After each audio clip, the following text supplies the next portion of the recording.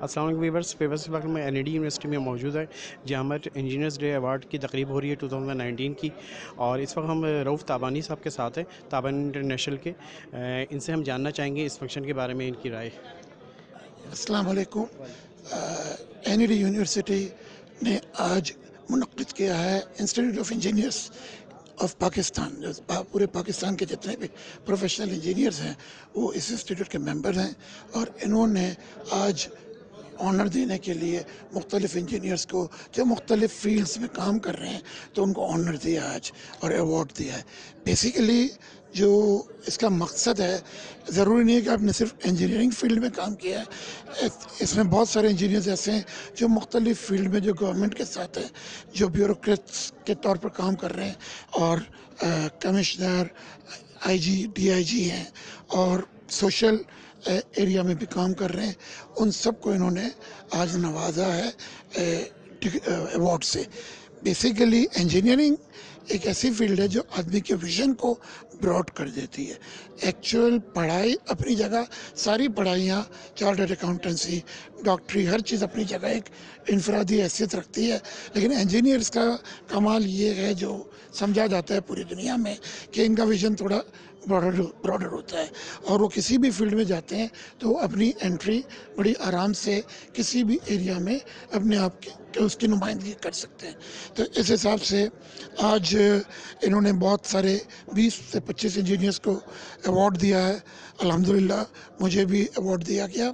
اور یہ میں نائنٹین ایٹی بیچ کا سول انجینئر ہوں اور انجینئرنگ کے ساتھ ساتھ میں مختلف کام کرتا رہا۔ پرائیویٹ کمپنی ہماری تھی اس کے ساتھ اور ایئر لائن تھی اس کے ساتھ۔ اور اس کے بعد اب گورنمنٹ کے مختلف سیکٹرز میں کام کر رہے ہیں۔ اسی طرح سارے انجینئرز بہت سارے کاموں میں انوالوڈ ہیں اور اللہ کا بڑا کرم اور احسان ہے کہ انجینئرز آج سب سے زیادہ خوشحال اور فارورڈ لکنگ طبقہ ہے۔ سر، تھوڑا سا جاننا چاہوں گا کہ یہ جو اب نیو انجینئرس آ رہے ہیں، تو ان کے لیے آپ لوگ کیا کر رہے ہیں اور کیا ان کے لیے ایسے وسائل پیدا کر رہے ہیں جو کہ ان کو بینیفٹ ملے؟ جیسے آپ لوگ آج اس مقام پہ پہنچیں تو کیا آپ ان کے لیے کچھ ایسا ورک کر رہے ہیں؟ دیکھیں جو ابھی نئے انجینئرز ہیں ماشاء اللہ آج دنیا بہت چھوٹی ہو گئی آپ کو معلوم ہے۔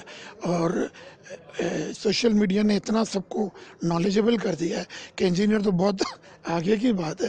آج پندرہ سال کا بچہ، تین سال کا بھی میں بول سکتا ہوں، لیکن پندرہ سال کا بچہ اس ساری نالج سے بہرہ مند ہے جو ہم پچیس سال کی عمر میں ہمیں موجود ملتی تھی۔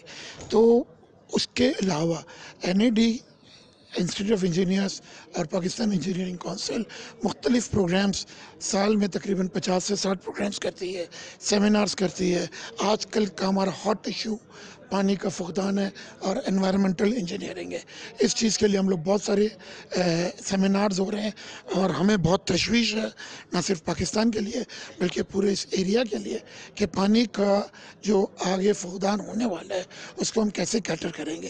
اگر ہم ڈیمز نہیں بنائیں گے تو کیا ہمارے پاس آگے سولیوشنس ہے اللہ کی قدرت ہے، اللہ نے اس ملک کو ہمیشہ حشاش بشاش ہرا بھرا رکھا ہے۔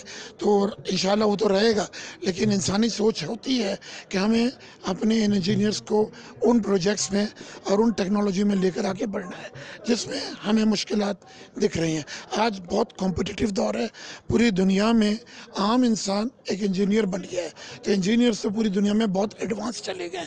اور ہمیں اس کمپٹیٹیو دور میں اپنے انجینئرس کو وہ ساری تعلیم مہم پہنچانی چاہیے، جس سے وہ بہرہ مند ہو اور ان انجینئرس کے سامنے پاکستان کو ایک بہتر مقام دلا سکے بہت بہت شکریہ سر، آپ نے بہت اچھے آئیڈیاز دیے thank you very much sir.